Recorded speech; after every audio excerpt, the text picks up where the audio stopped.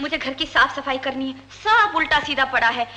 डॉली ऊपर तैयार हो रही है हाँ। तू उसे ले जा। या और रितु और जाने से कहना कि हम रात भर डांस करेंगे डांस